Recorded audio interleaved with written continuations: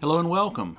Today we're working on calculating compound annual growth rate, or CAGR, C-A-G-R, in Excel. We've got five examples, so let's get started. Hello, my name is Jeff from Finally Learn, where I help you finally learn financial skills like calculating interest rates and compound annual growth rates. So let's have our first simple example. I'm going to make the point that total return and average return are not as good as calculating the compounded annual growth rate, CAGR. So let's have a little simple example. I just made up some numbers. Let's say we started with an account with $1,000. It went up and down over the five years, and then it ended at 1,600. So one thing I want to do is let's calculate the annual return. So if you want to calculate the annual return, it's basically simple interest. So let's take the ending balance. So the ending balance 900 divided by, I'm sorry, subtracted, subtract the beginning balance, and that would give us, we have a $100 loss divided by the original beginning balance. So we have a 10% loss. We can see how that works. We have a 10% loss. And then let's copy that all the way down and let's calculate the returns for each year. So in year two, we have a 22% return. Year three, 27% return. Year four, we've lost 14%. And then year five, we made 33%. One of the challenges is how do we describe our rate of return in a single number? Well, sometimes you'll see total return, and the good thing about total return, it includes compounding. Average return does not, and so we'll show you why that's not really a, a good way to do it. Let's do average return first. We'll take the ending balance. So the ending balance is 1600 and we'll divide by the beginning balance 1000 and then we'll just simply subtract 1 which takes out that original investment. So we have a total return of 60%. We can see we went from 1000 to 1600 which is a 60% increase. All right, so that's fine. The problem is well, is this for five years or 10 years or 14 years or three years? It makes a difference what your, your annual return would be. So what some people do is they say, well, I know how to do an average, so you can just add these five up, divided by five, and that's my average. I'll just say that's my return. That's not really the proper way to do it because it doesn't account for um, compound interest that these are linked. These are in order. So you lost 10% first, then you made 22% on top of that, and so on. So I'm going to use the average function in Excel just to make it really easy. Average of all these. And so you say, oh, I have 11.7% return. Well, that's not really the way you calculate it. We can't use that number to then calculate what our return uh, has been or what our growth uh, on the account has been. So let's do compounded annual growth rate. Now, this includes uh, compound interest, assumes compound interest here, so it's a little bit different calculation. And it's going to be the one number, the one rate that connects the 1000 all the way to the 1600. It's almost like the ones in the middle do not exist. So here's our formula, and I'll show you how to do Excel functions here on the next couple of uh, problems, but let's start with our basic formula. We're going to take our ending balance, which is 1600.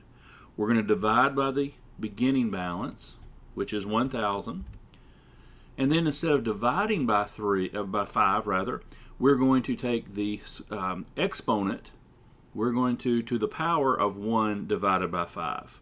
So we're going to use the caret symbol, which is that symbol, which is above the six. So you shift six, would that be the caret?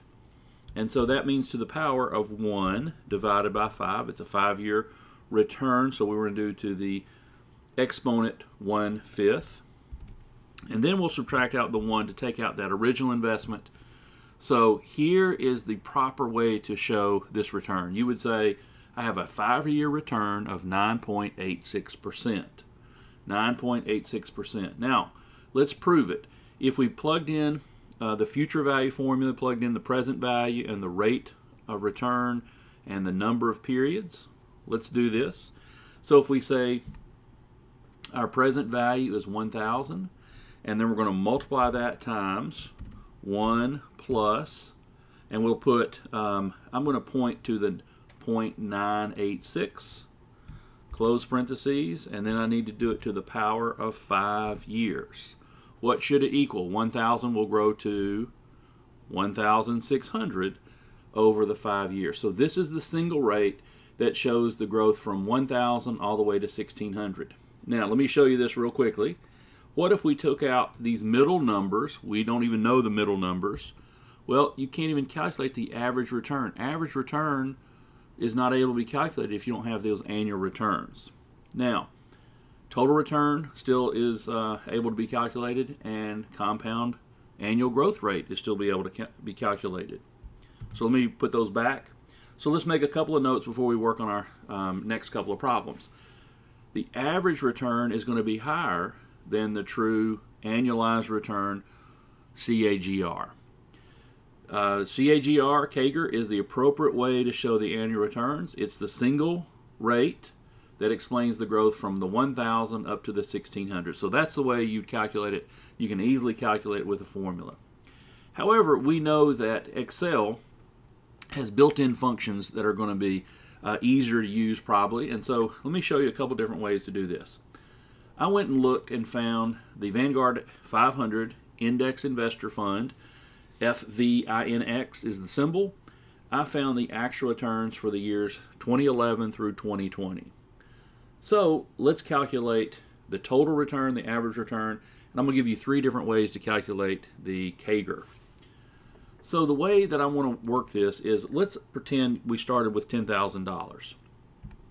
So we're going to take $10,000 times 1 plus the interest rate for that year, so you can see the 10,000 would grow at 1.97%. So it grew almost $200, $197. And we're going to copy this all the way down. And we'll say, hey, this 10,000 over 10 years grew to $36,194. So what's our total return? Now one thing I'm going to show is the formula here to the right using a function called formula text. Formula text, easy to do. So let me show you how to do the total return. Remember the total return is going to be the ending amount, 36,000, divided by the beginning amount, 10,000, and we'll subtract out 1 to take out the original investment. So the total return is 261, it's almost 262%. So that is our total return.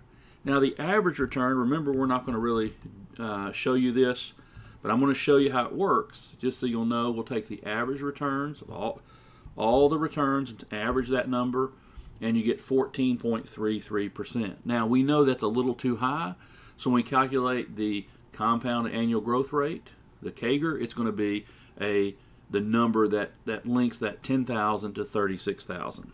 All right, so let's do our formula that we learned just a minute ago. Start with the ending balance divided by the beginning balance. And we need to do this to the power of 1 divided by 10. Why 10? Well, this is a 10-year um, return, so we're going to divide by 10.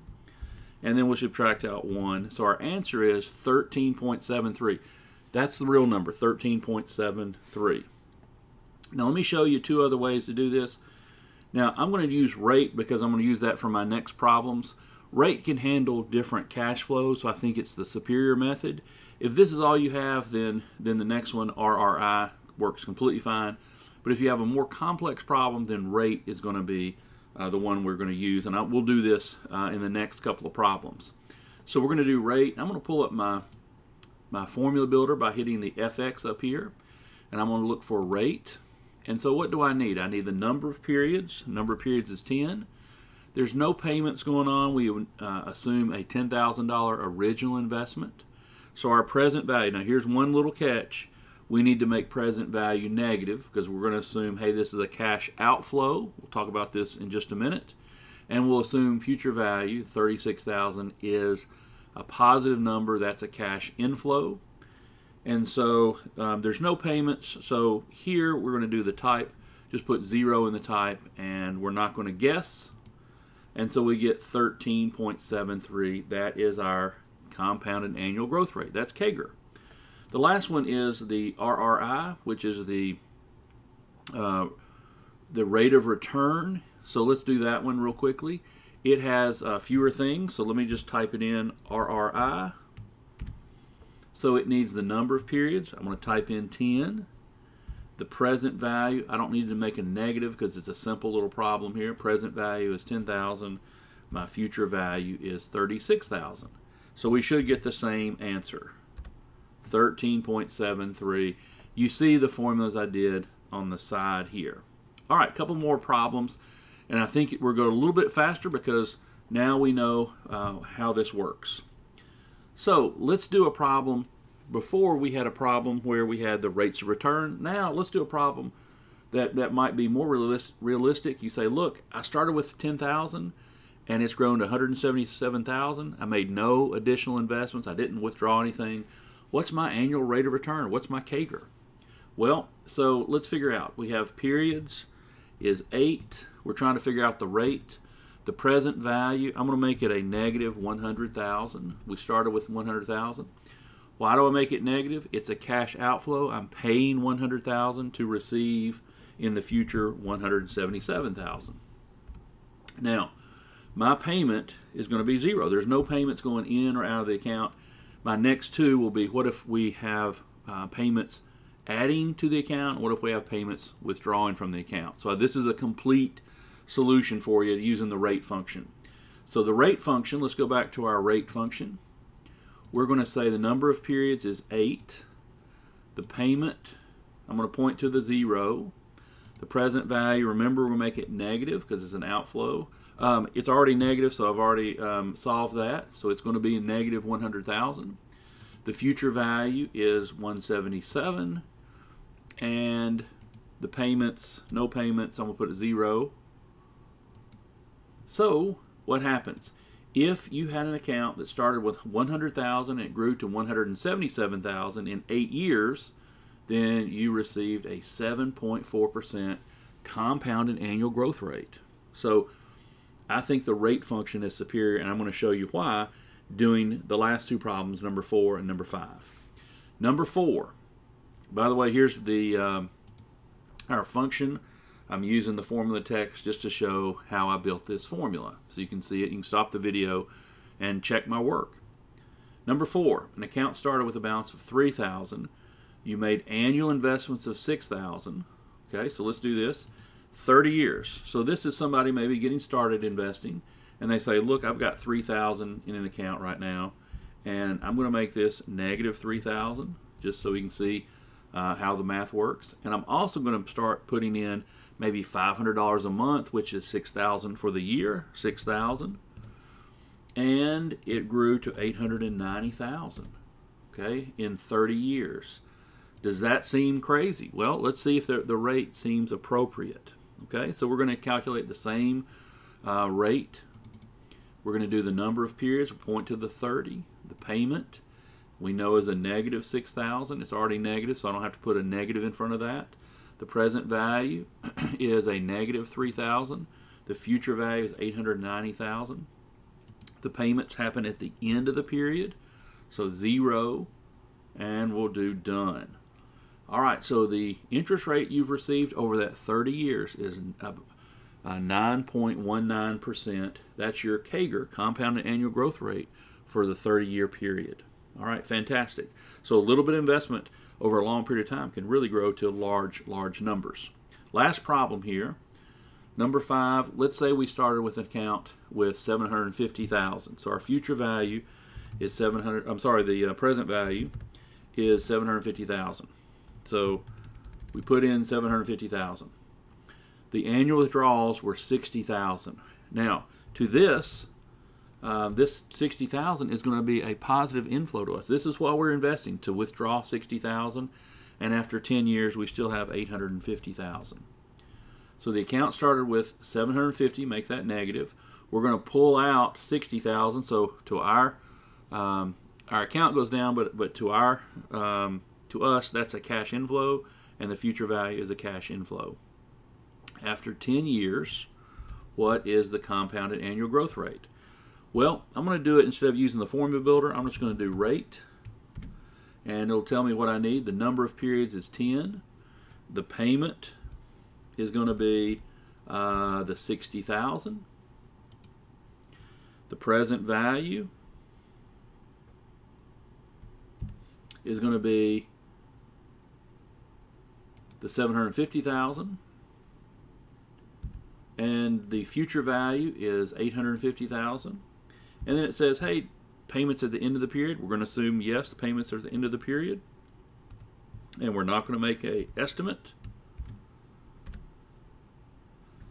So our compounded annual growth rate is 8.88% all right hope this is helpful for you. Calculating compounding annual growth rate is important. If you like this give me a thumbs up and we'll see you in the future videos. Thank you very much.